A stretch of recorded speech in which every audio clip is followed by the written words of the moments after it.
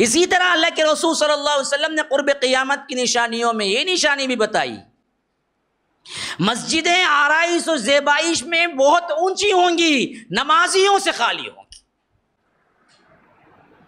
देख लो, तफसीर बोलने की ज़रूरत ही नहीं। आज तो सताईसवीं है, जाओ देखो, हर जगह लाइटें लगी हुई हो हाँ। जितने लाइटें लगा के क्या है, मस्जिद के अखराज में से निकाला जाता है, अल्लाह किसी को अकल दे, कमेटियों के ज़िम्मेदारों को अल्लाह सही सलामत रखे और उनको क्या है, सही सोच दे कि उतना पूरा कमेटी का वो पैसा जमा करके किसी बेहतरीन फलाही कामों में सर्फ कर सकते हैं। मुसलमानों की उम्मत को ज़रूरत है आज। लेकिन वो नहीं। मस्जिदें हमारी क्या है, किले हैं। इनमें से हर एक चीज़ वहीं से निकलना है। लेकिन मस्जिदें तो सिर्फ़ नमाज़ पढ़ने के लिए रह गई हैं, वो भी जुमा की सताईसवीं की, ईद की, उसमें भरती हैं। वरना तो देखो बिल्कुल खाली, इतनी बड़ी मस्जिद है दो सफ़ खड़े हुए हैं नमाज़। तीन सफ़ खड़े हुए हैं नमाज़। शानदार फानूस कैसे भी क्या है, तकरीबन पचास हज़ार रुपये का लगा हुआ है। एक एक फानूस, लेकिन अंदर नमाज़ ही। कोई नहीं।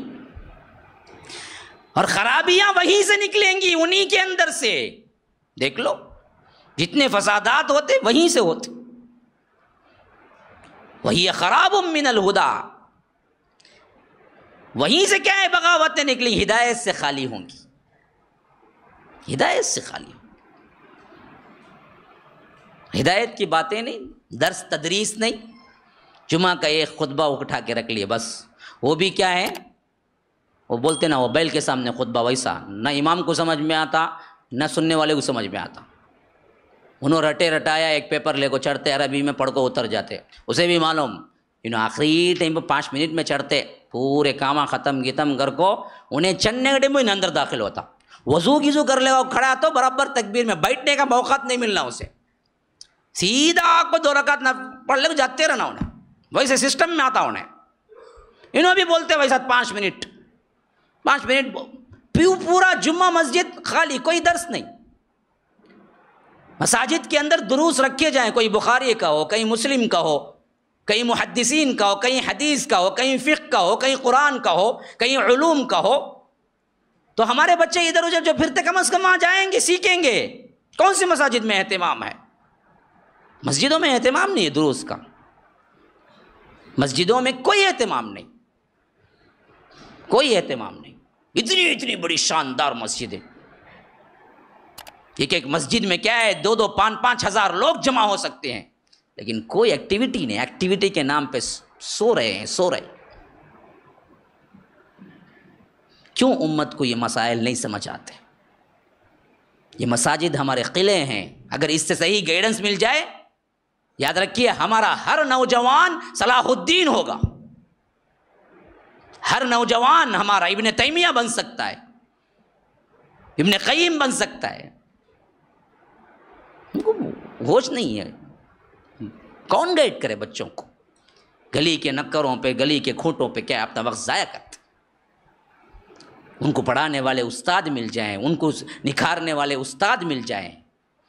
हीरा भी तो पत्थर होता है ना भाई। हीरा कौन सा हीरा होता है? हीरा भी पत्थर होता है। जब तराशने वाला उसको तराशता है जौहरी तो वो हीरा बनता है, वही पत्थर। लेकिन जब तराशा जाता है तो हीरा बनता है। वैसे ही बहुत से नौजवान जो पत्थर समझ के आज हम सोचते हैं, ये सब हीरे हैं जो बैठे हुए हैं। अगर उनको सही तरबियत दे के तराशा जाए तो हीरे बन के निकलेंगे उम्मत के लिए। लेकिन कोई तवज्जा नहीं। कोई तवज्जा नहीं है। आरइश, जेबाइश में ज़्यादा ख़र्चा है। तालीम, ताल्लुम पे कोई ख़र्चा नहीं। मसाजिद के अंदर कोई इंतज़ाम नहीं। ये हमारी हालात है। क़ुरब क़ियामत की निशानियाँ हैं। आरइश पर ज़्यादा तवज्जा देंगी। बल्कि मस्जिदों की आरइश पर एक दूसरे फ़ख्र करेंगे। आज कमेटियाँ फ़ख्र करती हैं। तेरी मस्जिद में कितना सवारा मैं कितना देखो सवारा मालूम क्या? उससे ज़्यादा। लेकिन अंदर तालीम ज़ीरो। कोई चीज़ नहीं होगी क़ुरब क़ियामत की निशानियों में से एक निशानी है।